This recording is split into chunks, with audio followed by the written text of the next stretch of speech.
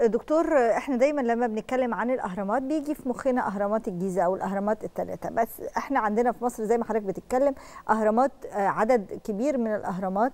وما اتعملتش كلهم في نفس الأسرة. يعني كلها مرت على تطورات معمارية وأشكال مختلفة وتطورات كمان في الأسر المختلفة اللي قامت بنائها هل عندنا رقم مبدئي نقدر نقول عدد الأهرامات اللي موجودة في مصر عددها قد إيه شكل بنائها تطوره؟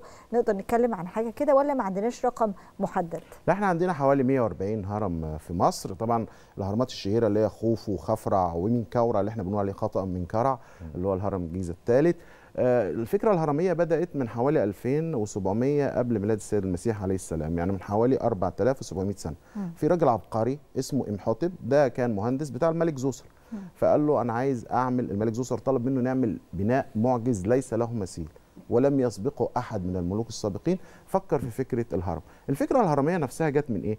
جت من انكسار شعاع الشمس على الأرض فعمل الشكل اللي هو المثلث ده.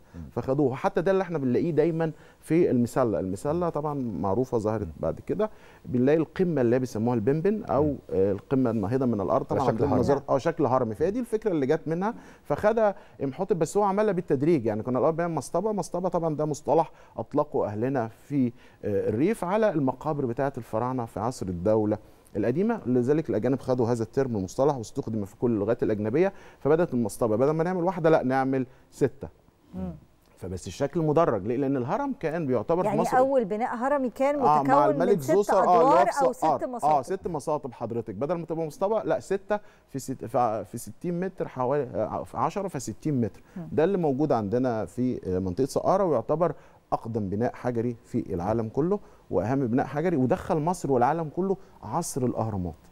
دي بداية الأسرة الثالثة عصر الدولة القديمة اللي بنصل بعد كده مع ملك عظيم جدا اسمه سنفرو بنى هرم في ميدوم ثم عمل هرم تاني اسمه الهرم المنبعج أو المنكسر في دهشور ثم وصل إلى الهرم الكامل الأحمر الشمالي ده أبو الملك خوفو.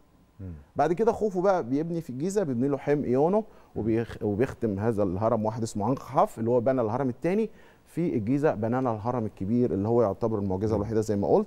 فهي دي فكرة تطور الفكر الهرمي فضلا ان إحنا عندنا أهرامات إلى الشرق مثلا أو إلى الجنوب بتبقى أهرامات الملكات زي عند الملك خوفو.